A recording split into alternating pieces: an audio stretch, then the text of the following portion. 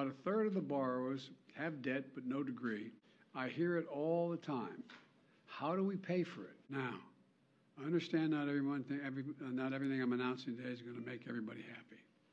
Something is too much. Something is too little. I believe my plan is responsible and fair. Using the authority Congress granted the Department of Education, we will forgive $10,000 in outstanding federal student loans. In addition, students who come from low income families, which allowed them to qualify to receive a Pell Grant, will have their debt reduced $20,000. No high income individual or high income household, on top of the 5%, in the top 5% of incomes, by the way, will benefit from this action period. If you make under $125,000, you get $10,000 knocked off your student debt. If you make under $125,000 a year and you received a Pell Grant, you'll get an additional $10,000 knocked off that total.